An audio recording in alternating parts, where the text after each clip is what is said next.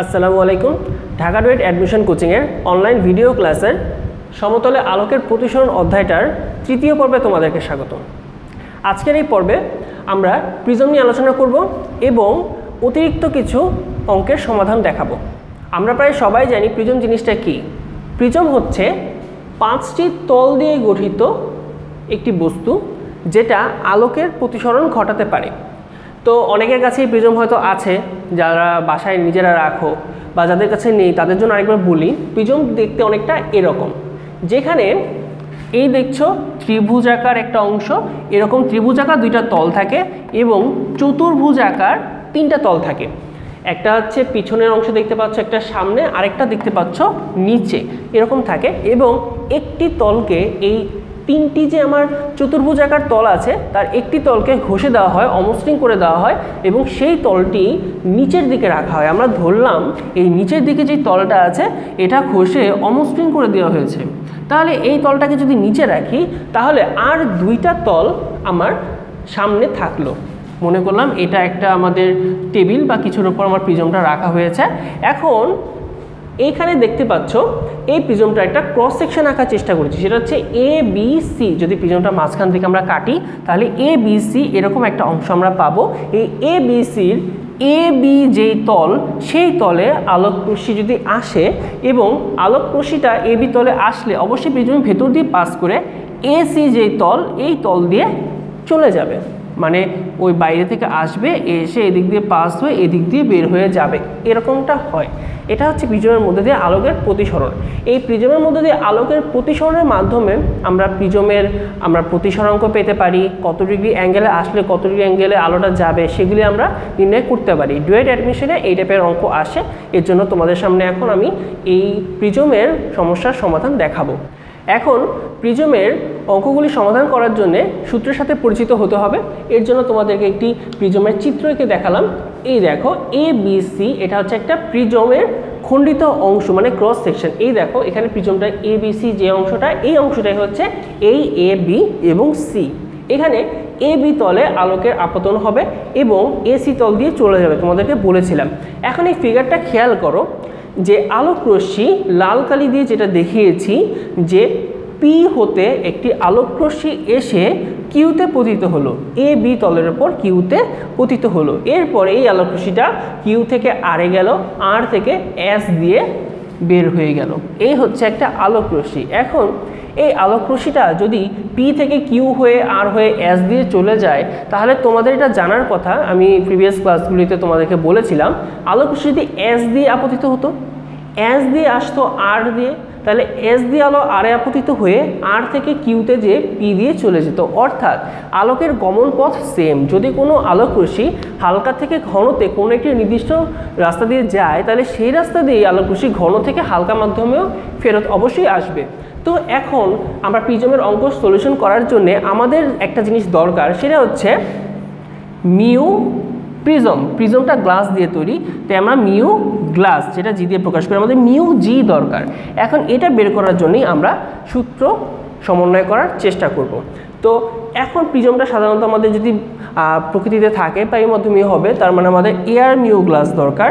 আর আমরা জানি air mu glass যদি আমরা লিখি, সেটা হচ্ছে হালকা থেকে ঘন, তার মানে sine I divided by sine R. এই হচ্ছে আমার মিউয়ের একটা সাধারণ সূত্র। এখন এই সূত্রটা যদি আমি এই এ বি তলে অ্যাপ্লাই করি, তাহলে দেখো আপাতন কোন কোনটা? আমার পি হো, তাহলে সি কিউতে আসলো। এখানে আপাতন কোন হচ্ছে? এই আই যেটা অ্যান অবিলম্বের সাথে আমার পি কিউবের সাথে কোণ করেছে আই এটা হচ্ছে আমার আপাতন কোণ। এই কোণাপতিত হয়ে এই যে যে ডট ডট লাইন দিলাম এই দিক দিয়ে আলোকরশ্মিটা যাওয়ার কথা ছিল। কিন্তু এদিক দিয়ে না যেয়ে আমার অবিলম্বের দিকে কিছুটা বেঁকে গেল, কারণ অবশ্যই বাতাসের চেয়ে আমার প্রিজমটা ভারী। তো অবিলম্বের দিকে সরে যেয়ে আমার কিউ আর পথে আলোক রশ্মিটা চলে যাচ্ছে। জাস্ট আমি এই দুইটা তলে নিলাম, হালকা এবং ভারী। আমি এই দিকে চিন্তা করছি না, কারণ আমার প্রতিসরাঙ্ক যদি বের করতে চাই, আমাদের জাস্ট একটা বিভেদতল হলেই যথেষ্ট যে বিভেদ তলের দুই পাশে দুইটা ভিন্ন মাধ্যম থাকবে। তো এইটুকু অংশ যদি বিবেচনা করি, তাহলে এই আপাতন কোণ আই এবং প্রতিসরণ কোণ হচ্ছে যে আর, এটা আমি আই ওয়ান এবং আর ওয়ান দিয়ে দেখিয়েছি, সেটা দিয়ে আমি এ মিউ জি বের করতে পারি sine I one divided by sine R one এখন যদি আমরা বিপরীত দিক থেকে খেয়াল করি, তো বিপরীত দিক থেকে যখন খেয়াল করব, সেখানেও কিন্তু আমার এয়ার মিউ যে আমার গ্লাস এটাই দরকার। এয়ার মিউ গ্লাস যদি আমি বের করতে চাই, তার মানে এয়ার থেকেই আলোটা আসবে এবং গ্লাসে যাবে। তার মানে এখন যদি আমি বাম, ডান পাশ থেকে চিন্তা করি, তাহলে আমার ডিরেকশনটা এরকম রাখলে হবে না। এখন আমি চিন্তা করব, ডান পাশ থেকে আলোটা আসতেছে। তার মানে এস থেকে আলোটা এসে আর হয়ে, কিউ হয়ে পি দিয়ে চলে যাবে। এই অবস্থায় জাস্ট আমি বাতাস এবং যেই প্রিজম এই অংশটুকু যদি চিন্তা করি, তাহলে আমার আপাতন কোণ কত? অবশ্যই আই টু এস থেকে আর এ আলোককোষে আপতিত হলো আই টু এবং আর এ যদি আলোককোষে আপতিত হয় আমার কিউ দিয়ে বের হয়ে যাবে। তাহলে এখানে আই টু হচ্ছে আপাতন কোণ এবং আর টু হচ্ছে প্রতিসরণ কোণ। তার মানে এখানেও আমি এয়ার নিউ গ্লাস এটা লিখতে পারি sine I two divided by sine R two এখানে আই বা আর মূল কথা নয়। আই বা আর দিয়ে আমি আপাতন প্রতিসরণ বুঝালাম, এটা মূল কথা নয়। মূল কথা হচ্ছে কোন জায়গাতে আলোটা আসতেছে, সেখানে কত ডিগ্রি কোণ করছে এবং কোন জায়গাতে আলোটা চলে যাচ্ছে, সেখানে কত ডিগ্রি কোণ করছে। এই আপাতন কোণ এবং প্রতিসরণ কোণ, এই দুটোর অনুপাতটা মুখ্য, আমার আই এবং আর মুখ্য না। আমি এখানে প্রথম অংশে আমি বুঝতেই পারতেছিলাম যে এই যে অ্যাস দিয়ে গমন করছে, বাম পাশে তলের জন্য এটা প্রতিসরণ কোণ। কিন্তু আবার এই রাস্তাটাই, এই কোণটাই যদি ডান থেকে যদি আলো আসে তার জন্য আমার আপাতন কোণ, ঠিক আছে? আমরা যখন যেটা বিবেচনা করব, সেই সাপেক্ষে আমরা সূত্রটা মান বসাবো। তো এখানে আমরা প্রথম চিন্তা করলাম বাম পাশে বায়ুমাধ্যম এবং প্রিজম এবং দ্বিতীয় অংশে চিন্তা করলাম ডান পাশে বায়ুমাধ্যম এবং প্রিজম। দুইটি অংশের জন্য আমি এয়ার মিউ গ্লাসের দুটি ভিন্ন ভিন্ন সূত্র পেয়ে গেলাম। এবার চিন্তা করো, এই জায়গাটায় আমার আর ওয়ান প্রতিসরিত রশ্মি হওয়ার কারণে যতটুকু বিচ্যুতি হয়েছে, সেই বিচ্যুতি কোণটাকে আমি প্রকাশ করলাম? ডেল্টা ওয়ান দিয়ে এবং দ্বিতীয় তলের জন্য ডেল্টা টু দিয়ে। এখন এই যে ডেল্টা ওয়ান এবং ডেল্টা টু, এই দুইটা কোণের যদি আমি যোগফল করি, সেটা অবশ্যই আমার এই ডেল্টা হবে। কারণ আমরা সবাই জানি একটি ত্রিভুজের যদি দুইটা কোণের আমি যোগফল বের করতে চাই, আমি এই দুইটা কোণের যে বিপরীত কোণটা আছে, সেখানে আমি যদি একটি বাহুকে বর্ধিত করি, যেই কোণটা পাবো, সেই কোণটাই হবে তার অন্তস্থ বিপরীত কোণ দ্বয়ের সমষ্টির সমান। এটা আমরা সবাই জানি। তো সেখান থেকে আমরা বলতে পারি, এই যে মোট বিচ্যুতি কোণ, delta equal delta one plus delta two অবশ্যই হবে। আর এই delta one plus delta two যদি হয়, আমরা একটা জিনিস জানি যে delta equal I minus R যখন হালকা থেকে ঘনতে যাবে, আমি তো জানি এখানে আমার হালকা মাধ্যম থেকে ঘন মাধ্যমে আলো বসে আসলো, তো এটা যদি হয়েই থাকে, তাহলে আমি বিচ্যুতি কোণ ডেল্টা ইকুয়াল জানি, ডেল্টা ওয়ান যেটাকে লিখতে পারি I one minus R one plus delta two এর জন্য I two minus R two এখন এই জায়গাটায় আই ওয়ান প্লাস আই টুকে লিখতে পারি I one plus I two R minus দুটাকে একত্র করলে minus R one plus R two এখন আর ওয়ান প্লাস আর টুর একটা নাম আছে। দুইটা প্রতিসরণ কোণকে যখন আমরা যোগ করব, সেটা প্রিজম কোণের সমান। এখন প্রিজম কোণটা কি? সেটা আমি দেখাই। এখানে দেখতে পাচ্ছি, আমি লিখেছি কোণ এ ইকুয়াল প্রিজম কোণ equal R one plus R two prism কোণটা হচ্ছে সেই কোণ। আমার প্রতিসরিত রশ্মি যে দুইটা তলে থাকবে। দেখো আমার এ সি তলে একটি প্রতিসরিত রশ্মি আছে এবং এ বি তলে আরেকটি প্রতিসরিত রশ্মি আছে। কিন্তু এই দুইটা রশ্মি, আমার যেই দুইটা তলে আছে, এই দুইটা তল দ্বারা যে কোনটা গঠিত হয়, সেই কোনটাই হচ্ছে আমার প্রিজম কোণ। এখানে আমার প্রিজম কোণ হচ্ছে কোণ A equal R one plus R two তো আমার R one plus R two equal আমরা লিখতে পারি কোণ এ তাই বিচ্যুতি কোণ delta equal I one plus I two minus A এটা আমরা লিখতে পারি। এখান থেকে আমি দুইটা সূত্র পেলাম। একটা হচ্ছে air mu glass sine I one by sine R one equal sine I two by sine R two আরেকটা সূত্র পেলাম। ডেল্টা ইকুয়াল যেটা হচ্ছে আমার মোট বিচ্যুতি কোণ, সেটা ইকুয়াল হচ্ছে I one plus I two minus A যেটা হচ্ছে প্রিজম কোণ। এবার তোমাদেরকে প্রিজমের ন্যূনতম বিচ্যুতি কোণের সাথে পরিচয় করাবো। ন্যূনতম বিচ্যুতি কোণটা কি? আমরা তো নর্মালি বিচ্যুতি কোণ জানি যে প্রথম তলে বিচ্যুতি কোণ ডেল্টা ওয়ান, দ্বিতীয় তলে বিচ্যুতি কোণ ডেল্টা টু, আর এই দুটাকে যোগ করলে মোট বিচ্যুতি কোণ পাই ডেল্টা। এখন ন্যূনতম বিচ্যুতি হচ্ছে সেই বিচ্যুতি। আমরা জানি যে কোনো একটি তলে আপাতন কোণের মান প্রিজমের জন্য যত বাড়তে থাকবে, আস্তে আস্তে বিচ্যুতি কোণের মানটা কমতে থাকবে। তো একটা অবস্থায় এমন হয় যে আপাতন কোণ একটা নির্দিষ্ট মানের জন্য এই বিচ্যুতি কোণের মানটা সর্বনিম্ন হয়। এরপরে আপাতন কোণ মান বাড়ালেও বিচ্যুতি কোণের মান আর কমে না, বরং সেটা বাড়তে থাকে। তার মানে সর্বোচ্চ যে আপাতন কোণের মানের জন্য সর্বনিম্ন আমরা একটা বিচ্যুতি কোণ পেলাম, সেটাই হচ্ছে আমাদের ন্যূনতম বিচ্যুতি কোণ, যাকে আমরা প্রকাশ করি ডেল এম দিয়ে মিনিমাম বিচ্যুতি কোণ সর্বনিম্ন। এই ডেল অ্যাম ন্যূনতম বিচ্যুতিকর হওয়ার জন্য কিছু শর্ত আছে।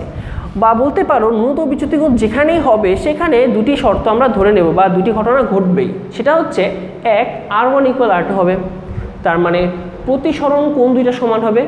এবং I one equal I two হবে। আপাতন কোন দুইটা সমান হবে? মূলত আমরা এটা জানি যদি I one equal I two হয়, তাহলে R one equal R two হবেই। এই দুটি শর্ত যেখানে থাকবে, সেখানে আমরা বুঝে নেব যে এখানে ন্যূনতম বিচ্যুতিকোণ হয়েছে। এখন দেখো R one equal R two এবং I one equal I two যদি হয়, আমরা এখান থেকে আরও কিছু সম্পর্ক পাই। যেমন, আমরা জানি A equal R one plus R two এটা যদি হয়ে থাকে, এখন ন্যূনতম বিচ্যুতি হলে আর ওয়ান আর টু তো সমান।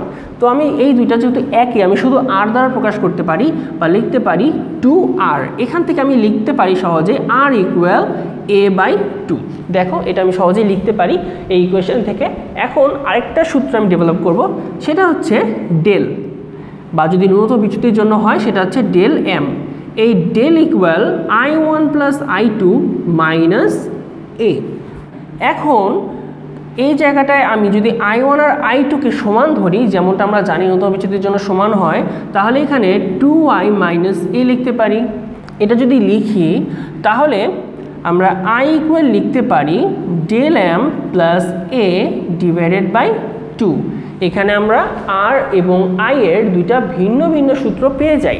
এখন এ অবস্থায় আমরা লিখতে পারি এয়ার মিউ গ্লাস ইকুয়াল আমরা যেটা জানতাম sine I divided by sine R সেখানে সাইন আই এর জায়গায় আমরা এখন লিখে দেব I equal del M plus A by two এটা লিখব del M plus A divided by two এবং আর এর পরিবর্তে আমরা লিখব এ বাই টু তার মানে সাইন এ বাই টু তাহলে এই আমরা নতুন একটা সূত্র পেয়ে গেলাম। এই সূত্রটা আমরা তখনই ব্যবহার করতে পারব যখন আমরা জানব যে এখানে বা বিজমে ন্যূনতম বিচ্যুতি হয়েছে।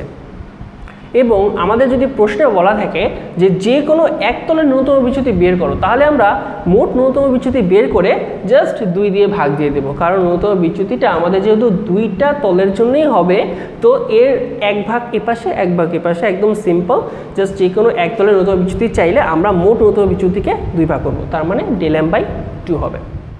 এবার প্রিজম সংক্রান্ত একটি সমস্যা দেখব।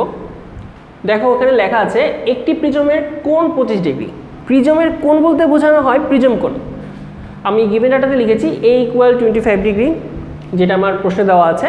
এবার বলেছে, এবং উপাদানের প্রতিসরাঙ্ক ওয়ান পয়েন্ট ফাইভ সিক্স তোমরা জানো, উপাদানের প্রতিসরাঙ্ক mu equal one point five six given ডাটায় লিখলাম। একটি আলোক রশ্মি প্রিজমটির এক প্রতিসরণ তলের ওপর লম্বভাবে আপতিত হবার পর দ্বিতীয় প্রতিসরণ তল হতে প্রতিসৃত হয়। এই কথা একটু বুঝতে হবে যে একটা তলের ওপর লম্বভাবে আপতিত হলো এবং দ্বিতীয় প্রতিসরণ তল দিয়ে প্রতিষ্ঠিত হলো। তার মানে যদি আমি এরকম একটা প্রিজম চিন্তা করি, এর একটা তল দিয়ে লম্বভাবে আলোকরশ্মি আপতিত হলো। লম্বভাবে বলতে একদম এভাবে বোঝা আর আমরা জানি একটা আলোকরশ্মি যদি লম্বভাবে আপতিত হয়, তার মানে এটার অভিলম্ব বরাবর যায়। আর অভিলম্বের সাথেই আমরা আপতন কোণের কোণ নির্ণয় করি। যেহেতু আমাদের অভিলম্ব যেই রেখাটা এবং আপতন রশ্মিও আমাদের সেই একই রেখা, তো এখানে আপতন কোণ যেটা আই আই এর কোনো আমার কোণই নেই। এখানে আই ইকুয়াল জিরো ডিগ্রি হবে। আচ্ছা আই ইকুয়াল যদি জিরো ডিগ্রি হয় এইটা আমি গিভেন ডাটাতে লিখলাম এবার দেখি, বলেছে এক প্রতিসরণ তলের উপর লম্বভাবে আপতিত হবার পরে আমার দ্বিতীয় প্রতিসরণ তল হতে প্রতিষ্ঠিত হয়। তার মানে আলোক এখান থেকে আমার দ্বিতীয় প্রতিসরণ তলে এসে কোনো একটি অ্যাঙ্গেলে বের হয়ে গেছে। কিন্তু কত ডিগ্রি অ্যাঙ্গেলে বের হয়েছে এটা আমি জানি না। তার মানে এখানে আমার আই টু যেটা, সেটা আমি একদমই জানি না। আই টু আমার অজানা। আই টুটা আমি জানি না। এখন আমার প্রশ্নে চেয়েছে কি? প্রশ্নে চেয়েছে রশ্মিটির কৌণিক বিচ্যুতি নির্ণয় করো। তার মানে আমার ডেল্টা দরকার। আমরা জানি delta equal I one plus I two minus A আমি আই ওয়ান জানি এ জানি, কিন্তু আই টু তো জানি না। তার মানে আমার অবশ্যই আই টু নির্ণয় করতে হবে। এখন আই টু নির্ণয় করার জন্যে আমার সূত্রটা কি? আমরা নর্মালি জানি যে mu equal sine I divided by sine R এখন আমার আই টু দরকার। এই জায়গাটায় যদি আমি mu equal sine I divided by sine R আমি লিখি, দেখো এখানে সমস্যাটা কি আসতেছে? এখানে আমি মিউ এর মান তো জানি, কিন্তু আমি আর এর মান জানি না আই এর মান জানি না। আই টু অজানা আর টুও অজানা, দুইটা অজানা থাকলে এখান থেকে আমি মান বের করতে পারব না। তাই একটা কাজ করি, আমাদের জানা মান থেকে আর টু এর মানটা বের করে নিয়ে আসি। এর জন্য আমার প্রথম যেই তলে আলোক রশ্মি আপতিত হয়েছিল, সেই তলে ফেরত আসব। দেখো, তাহলে এখান থেকে আমি অঙ্কটার সলিউশন শুরু করব। প্রথমে লিখি যে mu equal sine I one divided by sine R one এটা আমি কেন লিখলাম? এই কারণে লিখলাম, কারণ আমি এখানে মিও জানি আই ওয়ান জানি। দুইটা যদি মান জানি, তৃতীয় একটি মান আমি বের সহজেই করতে পারব। মিউ মিউর মানটা দেওয়া আছে। আমার মিউ জি মিউ জি এর মান হচ্ছে ওয়ান পয়েন্ট ফাইভ সিক্স দেখেই বুঝতে পারতেছি যে হালকা থেকে ঘনর দিকেই গেছে। Sine I sine zero degree আমরা আগে বের করেছি divided by sine R one যেহেতু সাইন জিরো ডিগ্রির মান হচ্ছে জিরো তার মানে শেষমেশে আমার টোটাল জিরো হয়ে যাবে, শুধুমাত্র আর ওয়ানের মান আমার জিরো ডিগ্রি রয়ে যাবে। আলোকরশ্মি যদি অভিলম্ব বরাবর আসে, তাহলে আই ইকুয়াল জিরো হবে, আর আই ইকুয়াল জিরো হলে আমরা জানি যে আলোকরশ্মিটা একই রেখা বরাবর পাস করে চলে যাবে। তো এই অবস্থায় আমরা ম্যাথে দেখো আর ওয়ান ইকুয়াল পেলাম জিরো ডিগ্রি এখন আর ওয়ান যেহেতু পেয়েছি সহজে আমরা আর টু এর মানটা পেতে পারি। কারণ আমরা জানি A equal R one plus R two আমি এর মানটা জানি twenty five degree R one হচ্ছে জিরো ডিগ্রি তাহলে আর টু এর মান কত হবে? এটা আমরা সহজে বের করতে পারি। আর টু এর মান হবে অবশ্যই টোয়েন্টি ফাইভ ডিগ্রি এখন দেখো আমাদের মেন যে প্রবলেমটা ছিল যে mu equal sine I two by sine R two R টুর মান জানতাম না, সেই আর টু আমরা পেয়ে গেছি। এখন আমরা সহজে আই টু এর মানটা বের করতে পারব। এখানে দ্বিতীয় তলের জন্যে আমার mu G equal sine I two by sine R two যদি আমরা লিখি, তাহলে mu G equal one point six five এটা আমাদের দেওয়া আছে। সাইন আই টু এর মান বের করতে হবে divided by sine R two এর মানটা, আমি জানি হচ্ছে পঁচিশ ডিগ্রি এখান থেকে আমি আই টু এর মানটা পেয়ে যাব forty one degree fourteen minute আমরা আই টুর মান পেয়ে গেছি। এখন মূল কোশ্চেনে চলে আসি। রশিদের কৌণিক বিচ্যুতি নির্ণয় করো। তো এখন আমরা সহজেই কৌণিক বিচ্যুতি বের করতে পারব। আমরা জানি কৌণিক বিচ্যুতি delta equal I one plus I two minus A এখানে আই ওয়ানের মানটা হচ্ছে জিরো ডিগ্রি আই টু এর মানটা আমরা বের করলাম forty one degree fourteen minute forty one degree fourteen minute minus এর মান হচ্ছে টোয়েন্টি ফাইভ ডিগ্রি তার মানে আমার অ্যান্সারটা চলে আসতেছে সিক্সটিন ডিগ্রি ফোরটিন মিনিট এটাই হবে আমাদের অ্যান্সার আরেকটি অঙ্ক দেখি। এই অঙ্কটিতে বলা আছে, কোনো একটি আলোক রশ্মির জন্য একটি সমবাহু প্রিজমের উপাদানের প্রতিসরাঙ্ক রুট টু এখানে খেয়াল করো, বলা হয়েছে সমবাহু প্রিজম। তার মানে আমরা প্রিজমের যে একটি ক্রস সেকশন আঁকি, সেখানে সমবাহু যদি হয়, তাহলে তিনটি কোণই সমান। প্রিজম কোণ এ ইকুয়াল লিখব আমরা সিক্সটি ডিগ্রি কারণ প্রত্যেকটি কোণই সমান, আর আমরা জানি যদি কোণগুলি সমান হয়, তাহলে প্রতিটি কোণ হবে সিক্সটি ডিগ্রি কারণ তিন সিক্সটিতে একশো আশি ডিগ্রি আমরা জানি তিন কোণের সমষ্টি হবে একশো আশি ডিগ্রি আচ্ছা এরপর বলা আছে প্রতিসরক হচ্ছে রুট টু তো আমরা লিখি ফেলি mu G equal root two এবার প্রিজমের প্রথম প্রতিসরণ তলে রশ্মিটি ফোরটি ফাইভ ডিগ্রি অ্যাঙ্গেলে আপতিত হইলে দেখাও যে রশ্মিটি ন্যূনতম বিচ্যুতিতে নির্গত হবে। এখানে আমার বলা আছে আলোক রশ্মিটি প্রথম যে কোন আপতিত হয়েছে, যার মানে হচ্ছে I one I one equal forty five degree I one যদি ফোরটি ফাইভ ডিগ্রি হয়, তাহলে আমাকে দেখাতে বলেছে যে এটা ন্যূনতম বিচ্যুতিতে নির্গত হবে। ন্যূনতম বিচ্যুতিতে কখন নির্গত হয়? যখন আমার I one equal I two হয় এবং R one equal R two হয়। তাহলে আমরা একটা কাজ করি আই ওয়ান যেহেতু পেয়েছি I two R one R two এই মানগুলি বের করি, বের করে আমরা প্রমাণ করে দেব যে এটা ন্যূনতম বিচ্যুতি নির্গত হয়েছে কি হয়নি। এখন খেয়াল করো, প্রথম তলে আমরা লিখতে পারি mu G equal sine I one divided by sine R one এখানে আমি মিউ জি এর মান জানি রুট টু সাইন আই এর মানও আমি জানি sine forty five degree divided by sine R one এখান থেকে আমি আর ওয়ানের মানটা সহজেই পেয়ে যাব। আর ওয়ানের মান হবে থার্টি ডিগ্রি তো আমি আই ওয়ানের মানটা যদি জানি এবং নিউয়ের মানটা জানি, সেখান থেকে সহজেই আর ওয়ানের মানটা বের করলাম। এখন আর ওয়ানের মান যেহেতু থার্টি ডিগ্রি এখান থেকে আমি সহজেই আর টু এর মান বের করতে পারব, যেমনটা আমি এর আগের অঙ্কটাতে সমাধান করেছিলাম। এখন A equal R one plus R two এর মানটা আমার জানা আছে। সিক্সটি ডিগ্রি আর ওয়ানের মান জানি থার্টি ডিগ্রি, এখান থেকে আমি আর টু এর মানটা বের করব। তাহলে আমি জানি যে এখান থেকে আর টু এর মান হবে sixty degree minus thirty degree equal thirty degree এবং আর টু এর মান থেকে আমি আই টু এর মানটা বের করব। দেখো mu G equal sine I two by sine R two এটা হচ্ছে দ্বিতীয় প্রতিসরণ তলের জন্যে এখানে আমি মিউ জি এর মানটা বসিয়ে দিই, যে মানটা হচ্ছে root two sine I two এর মান আমি জানি না, কিন্তু সাইন আর টু এর মান জানি, সেটা হচ্ছে থার্টি ডিগ্রি। এখান থেকে সহজেই ক্যালকুলেট করলে আমি আই টু এর মানটা পেয়ে যাব ফোরটি ফাইভ ডিগ্রি। এটা তোমরা ক্যালকুলেটারে চেপে তোমরা দেখতে পারো।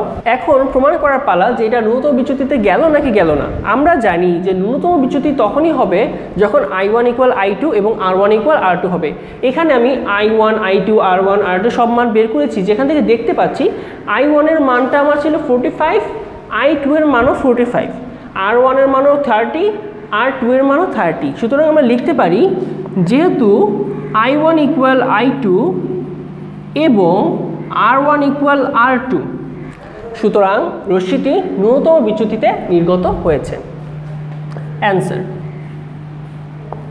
একটি নতুন অঙ্কতে আসি। এখানে দেখো সিক্সটি ডিগ্রি অ্যাঙ্গেল বিশিষ্ট একটি কাঁচ প্রিজমের প্রতিসরাঙ্ক ওয়ান পয়েন্ট ফাইভ এখানে কাঁচ প্রিজমের কোণ দেওয়া আছে সিক্সটি ডিগ্রি তার মানে হচ্ছে আমার প্রিজম কোণটাই। প্রিজম কোণ এ ইকুয়াল সিক্সটি ডিগ্রি এবং mu equal one point five যেটা দেওয়া আছে।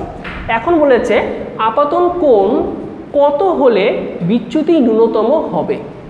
এখানে আমার বলাই আছে বিচ্যুতি ন্যূনতম হবে, এটা ধরে নিয়ে আমাকে ক্যালকুলেট করতে হবে যে আপাতন কোনটা কত এবং ন্যূনতম বিচ্যুতি কোণের মানটা কত। আচ্ছা এবং প্রথম তলে ন্যূনতম বিচ্যুতির মান কত হবে? মানে মোট ন্যূনতম বিচ্যুতিটাও বের করতে হবে এবং প্রথম তলে ন্যূনতম বিচ্যুতিটাও নির্ণয় করতে হবে। এখন যদি আমি আপাতন কোনটা বের করতে চাই, কখনোই প্রথমে বের করতে পারব না। আমার আপাতন কোনটা বের করতে হলে আগে আমার ন্যূনতম বিচ্যুতি কোণের মানটা বের করে নিতে হবে। এখানে ন্যূনতম বিচ্যুতি কোণের মানটা তাহলে আমি বের করে নিই ফার্স্টে তাহলে একটু সহজ হয়। এখন দেখো, এখানে mu equal sine del M plus A divided by two divided by sine A by two এখানে যদি মান বসাই মিউ ইকুয়াল আমার জানা আছে one point five sine del M plus এর মান জানি sixty divided by two divided by sine sixty divided by two এখানে দেখো, শুধুমাত্র আননোন মানটা হচ্ছে ডেল এম তো এই ডেল এমের মানটা এখান থেকে আমি নির্ণয় করব।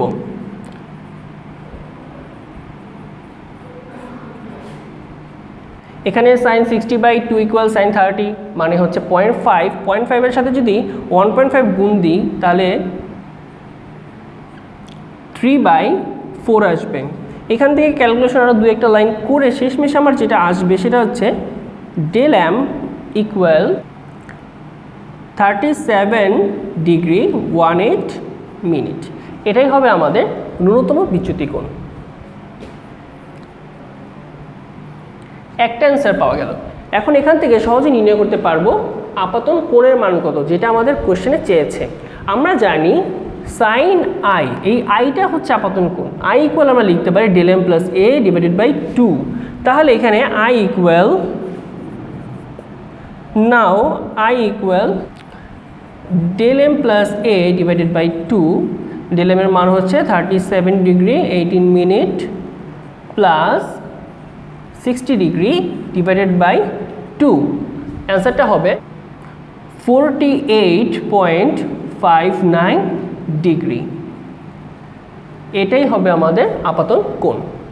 এবার লাস্ট অ্যান্সারটা চলে আসি। প্রথম তলে ন্যূনতম বিচ্যুতির মান নির্ণয় করা। আমরা জানি যখন ন্যূনতম বিচ্যুতি হয়, দুই তলে তার অর্ধেক অর্ধেক কোণে বিচ্যুতি হয়। দুইটা মিলে আমার ন্যূনতম বিচ্যুতি এবং এই কারণেই প্রথম তলে ন্যূনতম বিচ্যুতি বা যে কোনো এক তলে বিচ্যুতি হচ্ছে মোট ন্যূনতম বিচ্যুতির অর্ধেক। তাহলে আমরা প্রথম তলে ন্যূনতম বিচ্যুতির মানটা বের করতে পারি del M by two equal thirty seven degree eighteen minute divided by two equal eighteen degree thirty five minute এটা হবে সর্বশেষ অ্যান্সার সমতলে আলোকের প্রতিসরণ চ্যাপ্টারটার প্রায় সব ধরনের সূত্রই দেখানো হয়ে গেছে এবং সব ধরনের সূত্রেরই বিভিন্ন অঙ্ক সলিউশন করার চেষ্টা করেছি।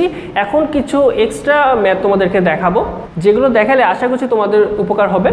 এরকম একটা ম্যাথ দেখো এখানে বলা আছে একটি স্বচ্ছ কাচের ঘনকে প্রত্যেক পৃষ্ঠের দৈর্ঘ্য চব্বিশ সেন্টিমিটার।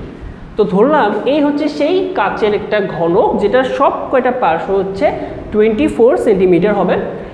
এই কাচের মধ্যে অবস্থিত একটি বায়ু বুদবুদকে কোনো একটি তল হইতে লক্ষ্য করলে পাঁচ সেন্টিমিটার গভীর বলে মনে হয় এবং বিপরীত তল হতে লক্ষ্য করলে এগারো সেন্টিমিটার গভীর মনে হয়।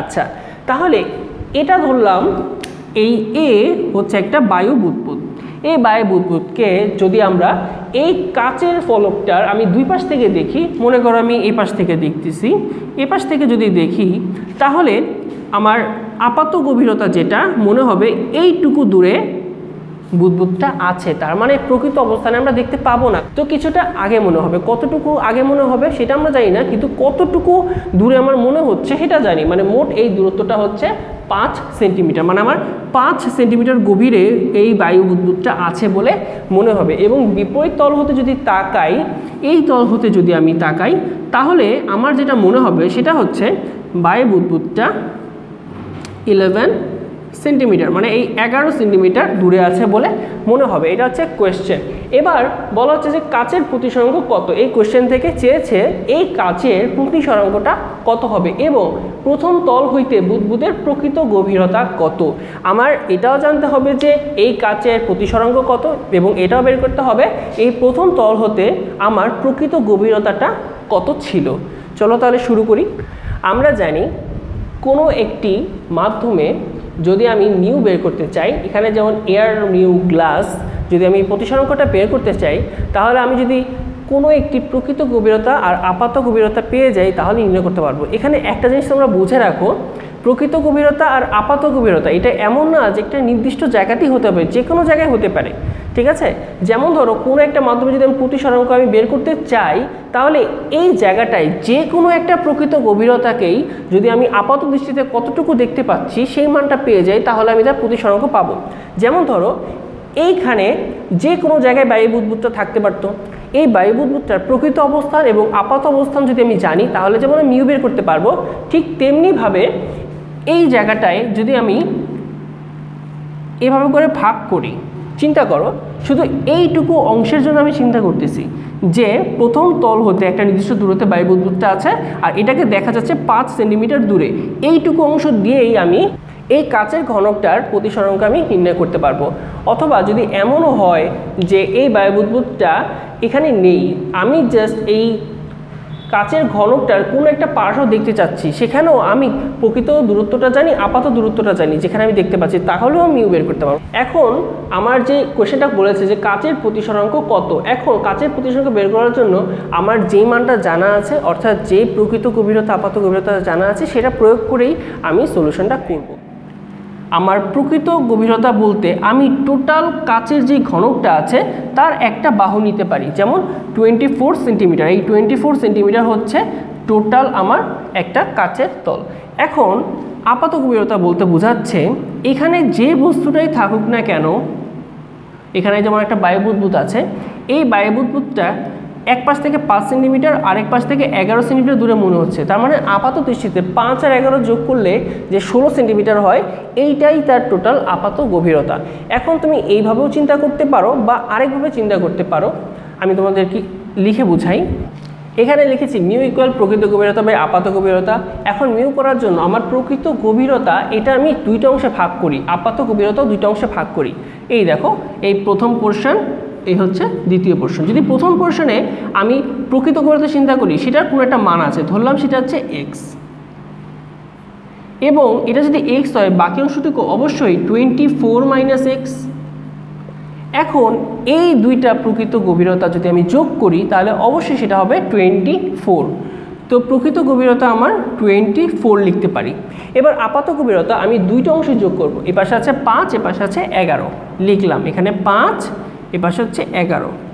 এই হচ্ছে আমার টোটাল আমার একটা ঘনকের জন্য প্রকৃত গভীরতা এবং টোটাল ঘনকের জন্য আপাত গভীরতা। এই দুটার অনুপাত করেও আমি মিউয়ের মানটা বের করতে পারি। এখান থেকে মিউয়ের মানটা আসবে ওয়ান পয়েন্ট ফাইভ অ্যান্সার এখন কোশ্চেনটা দ্বিতীয় অংশে যাই। প্রথম তল হইতে বুদবুদের প্রকৃত গভীরতা কত? তো এখন আমার প্রথম তল হইতে প্রকৃত যে গভীরতাটা, সেটা আমি জানি এক্স এখন এই এক্সের মানটা আমি বের করব। আমরা জানি এই মিউয়ের মানটা যদি আমি বের করতে চাই, প্রকৃত গভীরতার আপাত গভীরতা দিয়ে, এটা আমি সম্পূর্ণটা দিয়েও করতে পারি, যে কোনো একটা নির্দিষ্ট অংশ দিয়েও করতে পারি এখন আমি এই প্রথম অংশটুকু দিয়েই মিউয়ের মানটা বের করব। কিন্তু দেখো, আমি মিউয়ের মানটা আগেই জানি তাহলে এই মিউয়ের বের করা মানটা দিয়ে আমি প্রকৃত গভীরতা বা আপাত গভীরতা এর কোনো একটি মান আমি বের করতে পারি, এই নির্দিষ্ট অংশটাতে তো আমি লিখি মিউ ইকুয়াল প্রকৃত গভীরতা বা আপাত গভীরতা, এটা হচ্ছে শুধুমাত্র এই প্রথম অংশটার জন্য লিখলাম। মিউয়ের মানটা আমি অলরেডি বের করে নিয়েছি, সেটা হচ্ছে ওয়ান পয়েন্ট ফাইভ প্রকৃত গভীরতার মান হচ্ছে এক্স এবং আপাত গভীরতার মান হচ্ছে পাঁচ। তাহলে এখানে যদি আমি পাঁচ লিখি, তাহলে আমি এক্সের মানটা পেয়ে যাব সেভেন পয়েন্ট ফাইভ সেন্টিমিটার এই দূরত্বটাই হবে প্রথম তল হইতে বুদবুদের প্রকৃত গভীরতা। অ্যান্সার এবার চলো অন্য একটি ম্যাথের দিকে যাওয়া যাক। এই অঙ্কটা বলা আছে, স্থির পানিতে পঞ্চাশ সেন্টিমিটার গভীরতা একটি মাছ আছে। পানির পঞ্চাশ সেন্টিমিটার গভীরতা একটি মাছ আছে। প্রমাণ করো যে মাছের চোখে পানির তল সাতান্ন সেন্টিমিটার ব্যাসার্ধের একটি বৃত্ত মনে হবে। তো প্রথমে এই ব্যাপারটা নিয়ে একটু আলোচনা করি যে মাছের চোখে পানির তলে একটা বৃত্ত কেন মনে হবে? তো একটা জিনিস খেয়াল করো, আমি ধরলাম এটা হচ্ছে জল, এই জলের মধ্যে মাছ আছে। আর এটা হচ্ছে উপরের তল। এখন মাছের চোখে যদি কোনো আলোকরশ্মি আসে, ঠিক আছে? এরপরে তারপরে তো মাছটা সেই বস্তুটাকে দেখতে পাবে। এখন তুমি এটা যদি চিন্তা করো, পানি তলটা হচ্ছে বায়ু মাধ্যমে হচ্ছে ভারী। তো ভারী মাধ্যমে আমার সংকট কোণ সৃষ্টি হতে পারে। সংকট কোণের কথা এই কারণে বলছি, কারণ আমার বায়ু মাধ্যম থেকে কোনো আলোকরশ্মি যদি আসে, মাছের চোখে যায়, তারপর মাছটা ওই বস্তুটাকে দেখতে পাবে। এখন এই মাছের চোখ থেকে যদি আলোক রশিটা এদিক দিক দিয়ে আসে, এমন একটা জায়গা থেকে, তাহলে একটা চিন্তা করো, যদি সমান্তরালে আসে এবং মাছের চোখে যায়, তাহলে সেই কোণটাকে আমরা বলব সংকট কোণ। আর এর চেয়ে যদি ছোটো বড়ো কোণে হয়, তাহলে কি ঘটনাটা ঘটবে? এখন এই সংকট হচ্ছে যখন ছোট কোন সৃষ্টি হবে, তখন আলোক রশ্মিটা বাহিরে যাবে, অর্থাৎ বায়ুমাধ্যমে যাবে। তখন মাছটা বায়ু মাধ্যমে যে কোনো কিছু দেখতে পাবে বা আলো দেখতে পাবে। কিন্তু যদি কোনটা সংকট কোণের চেয়ে বড় হয়ে যায় সংকট কোণের চেয়ে বড় কোণ হলেই পানিতে পূর্ণ আভ্যন্তরীণ প্রতিফলন হবে আলোর। এই কারণে মাছটা পানির ভেতরে সব কিছু দেখতে পেলেও পানির উপরে যা আছে সেই আলোটা তার চোখে আসবে না। এর ফলে শুধুমাত্র একটি এই সংকট কোণে যত ডিগ্রি কোণ করে, এই কোণের মাঝে যে আলোটা আসছে সেই আলোটাই দেখতে পাবে।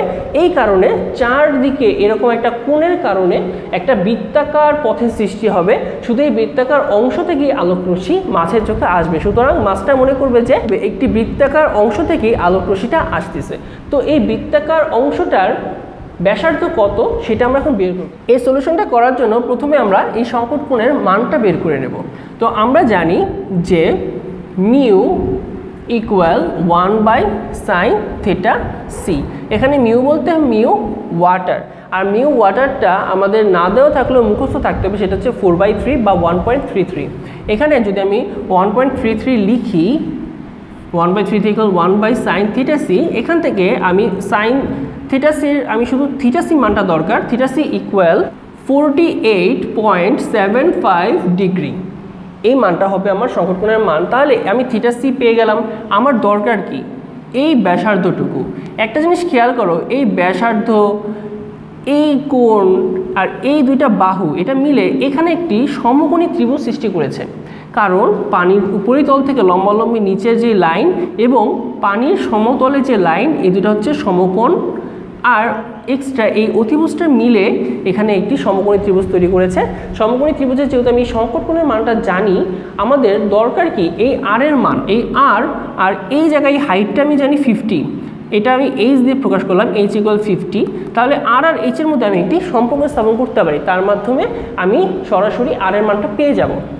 এখন দেখো tan theta C equal R by H আমরা লিখতেই পারি। কারণ এই থিটা সির জন্য লম্ব হচ্ছে আর আর ভূমি হচ্ছে এইচ তাহলে লম্ব বাই ভূমি ইকুয়াল টেন থিটা সেখান থেকে আমি লিখে দিলাম tan theta equal R by H এখানে যদি আমি মান বসাই আর এর মান তো জানি না এইচ এর মান হচ্ছে ফিফটি সেন্টিমিটার এখান থেকে আমরা লিখতে পারি টেন থিটাসির মান হচ্ছে forty eight point seven five degree equal R by fifty এখান থেকে আমার আর এর মান চলে আসবে ফিফটি সেভেন সেন্টিমিটার যেটা আমার প্রশ্নে বলা ছিল। দেখাতে বলা হয়েছিল যে ফিফটি সেভেন সেন্টিমিটারই হবে এটা ব্যাসার্ধ, যেটা আমরা অলরেডি প্রুফ করে ফেলেছি।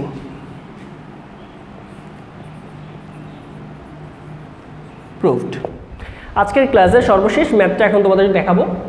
দেখো এই অঙ্কটাতে বলা আছে, একটি চলমান অনুবীক্ষণ যন্ত্রে একটি অক্ষর ফোকাস করিয়া অক্ষরটি একটি স্বচ্ছ কাচের ফলকে ঢাকিয়া দিয়া পুনরায় ফোকাস করিতে যন্ত্রটিকে সিক্স পয়েন্ট সিক্স মিলিমিটার উপরে উঠাইতে হয়। আমি জানি অনেকে এই বুঝতে পারোনি। আচ্ছা আসো আমরা চিত্রের মাধ্যমে ব্যাপারটা বোঝার চেষ্টা করি। প্রথমে আসি, চলমান অনুবীক্ষণ যন্ত্র, চলমান অনুবীক্ষণ যন্ত্রটা আসলে কি? একেবারে প্রথম থেকে অনুবীক্ষণ যন্ত্র এরকম ছিল, যেটা চলমান ছিল মানে এরকমটা যে এ বি এই রেখা বরাবর এটা হচ্ছে একটা অনুবীক্ষণ যন্ত্র, যেটাকে এ বি বরাবর উঠানামা করানো যায়। তো এ বি বরাবর যদি ওঠানামা করানো যায়, এটা হচ্ছে একটা অনুবীক্ষণ যন্ত্র। এই অনুবীক্ষণ যন্ত্র দিয়ে আমার এই বি সি এই তলে কোনো কিছু যদি আমরা রাখি, সেটাকে ফোকাস করে আমরা দেখতে পাই। তো ধরলাম বিসি তলে এই জায়গাটায় একটা বস্তু আছে। আচ্ছা তো এই বস্তুটা দেখো, কি হচ্ছে ঘটনাটা? বলেছি একটি চলমান অনুবীক্ষণ যন্ত্রে একটি অক্ষর ফোকাস করিয়া ফার্স্টে ধরে নিলাম, এটাই হচ্ছে আমার সেই অক্ষর।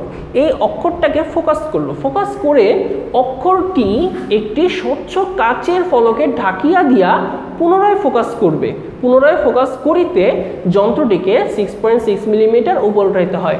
তার মানে বলার চেষ্টা করেছে, প্রথমে আমরা অনুবীক্ষণ যন্ত্রটা দিয়ে এই অক্ষরটাকে ফোকাস করলাম। অক্ষরটাকে ফোকাস করার পরে আমরা কি করব? এর উপর একটা কাচের ফলক দিয়ে ঢেকে দেব। ধরো, এই একটি কাচের ফলক দিয়ে ঢেকে দিলাম। এখন চিন্তা করো, প্রথমে অক্ষরটা ফোকাস করা হয়েছিল। এই অনুবীক্ষণ যন্ত্রটা অনেকটা মানুষের চোখের মতোই আচরণ করে। তোমরা জানো, মানুষের চোখ একটা নির্দিষ্ট সীমার পরবর্তীতে যদি কোনো বস্তু রাখা হয়, তাহলেই ক্লিয়ার দেখতে পায় সেটার মান হচ্ছে টোয়েন্টি ফাইভ সেন্টিমিটার এই যেমন ধরো, এখানে আমার যে মার্কারটা আছে, এই মার্কারটা যদি আমি চোখের সামনে পঁচিশ সেন্টিমিটার সামনে ধরি, এটাকে আমি ক্লিয়ার দেখতে পাবো। যদি এর থেকে দূরে রাখি, তাও ক্লিয়ার দেখতে পাবো। কিন্তু যদি এর থেকে ভেতরে নিয়ে আসি, তাহলে কিন্তু আমি এটাকে ক্লিয়ার দেখতে পাবো না। ঠিক একইভাবে এই অনুবীক্ষণ যন্ত্রটাও একই রকম আচরণ করছে। যখন আমার এই অক্ষরটা অনুবীক্ষণ যন্ত্রটা ফোকাস করল, এই অবস্থায় তো ঠিক আছে, কিন্তু যখনই এর উপরে একটি কাচের ফলক দিয়ে ঢেকে দেওয়া হলো, তখন কাচের ফলক আর এখানে আছে বায়ু মাধ্যম। দুইটি মাধ্যম আলাদা হওয়ার কারণে আলোর প্রতিসরণের ফলে আমরা এই অক্ষরটাকে কিছুটা উপরে দেখতে পাবো। সেই উপরে হচ্ছে, মনে করো, এই এতটুকু উপরে। তার মানে প্রথমে এই অনুবীক্ষণ যতটা যতটুকু দূরত্ব অক্ষরটাকে দেখতে পেয়েছিল, এখন কিন্তু আর সেই দূরত্ব দেখতে পাবে না। মনে হবে যে আরেকটু কাছে চলে এসেছে। ঠিক যেমন আমরা পঁচিশ সেন্টিমিটার থেকে যদি কোনো বস্তু আরও কাছে আসে, আমরা ক্লিয়ার দেখতে পাই না বা ফোকাস হয় না, ঠিক একইভাবে এই যন্ত্রটার জন্য এখন অক্ষরটা আর ফোকাস হবে না। তো অক্ষরটা যদি ফোকাস করতে চাই, তখন কি করব আমরা? দেখো, প্রশ্নে বলা আছে যে একটি স্বচ্ছ কাচের ফলকে ঢাকিয়া দিয়া পুনরায় ফোকাস করিতে যন্ত্রটিকে সিক্স পয়েন্ট সিক্স মিলিমিটার উপর উঠাইতে হয়। অর্থাৎ যদি আমি এটাকে কাঁচের ফলকে ঢেকে দেই, আমাকে এই অক্ষরটা ফোকাস করতে এই যন্ত্রটাকে সিক্স পয়েন্ট সিক্স মিলিমিটার উপরে উঠাইতে হবে। আচ্ছা আমরা সিক্স পয়েন্ট সিক্স মিলিমিটার কেন উঠালাম? ঠিক একই ঘটনাটা। দেখো, যদি আমি মার্কারটা কিছুটা সামনে নিয়ে আসি, এটাকে আমি ঠিকভাবে দেখতে পাচ্ছি না। এটাকে ঠিকভাবে দেখতে চাইলে দুইটা উপায় করতে পারি। এক হচ্ছে এই মার্কারটাকে আমার কিছুটা দূরে সরাতে হবে, অথবা আমি নিজেই কিছুটা পেছনে সরে যাব। যতটুকু মার্কারটা সামলানো হয়েছিল, আমিও যদি ততটুকু পেছনে সরে যাই, তাহলে ফোকাসটা আবার ঠিক হয়ে যাবে। এখন দেখো, এখানে তো একটা তল বিসি এই অক্ষরটাকে এর চেয়ে তো নিচে নামানো সম্ভব না। তাই আমরা কি করব? যেহেতু এই অক্ষরটা আপেক্ষিকভাবে এই অনুবীক্ষণ চত্বরের কাছে চলে এসেছে, এর জন্য অনুবীক্ষণ চত্বরটা আমরা কিছুটা পেছনে সরিয়ে নেব।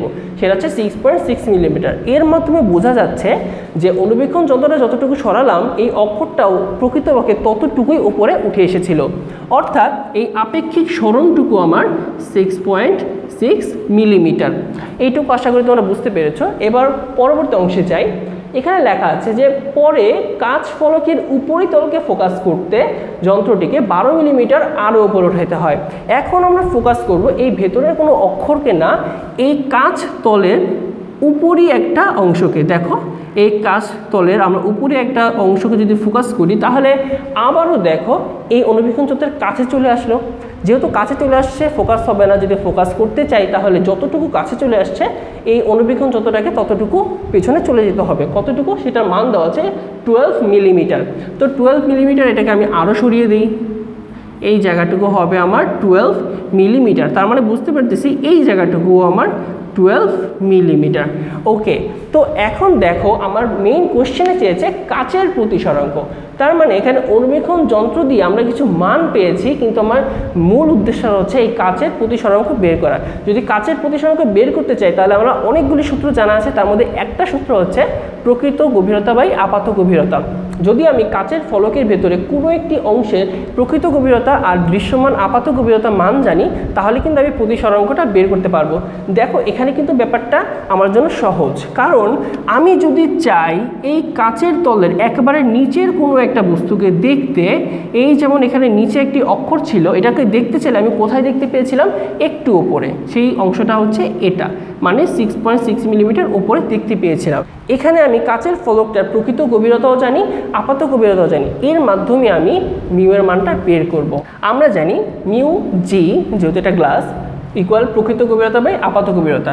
এখানে যে কোনো প্রকৃত গভীরতা আমরা জানলেই হবে এবং তার সাপেক্ষে আপাত গভীরতাটা আমরা জানতে হবে। এখানে এই গ্লাসটার টোটাল যে গভীরতা সেটার মান কিন্তু আমরা জানি। দেখো, এইটুকু হচ্ছে বারো মিলিমিটার আর নিচেরটুকু হচ্ছে সিক্স পয়েন্ট সিক্স মিলিমিটার তাহলে প্রকৃত গভীরতা হবে twelve plus six point six এবার আমার দরকার আপাত গভীরতা। উপর দিক থেকে যদি আমি তাকাই, একেবারে নিচের আমার যে বস্তুটা দেখতে চেয়েছিলাম, সেটা আমি যেখানে দেখতে পাবো, ওই জায়গাটার উলম্বিক যে দূরত্ব উপরিতল থেকে সেটা হচ্ছে আমার আপাত গভীরতা। তো আমার উপরিতল হতে যেখানে আমি দেখতে পেয়েছি, তার দূরত্বটুকু কিন্তু এইটুকু, যার মান হচ্ছে বারো মিলিমিটার।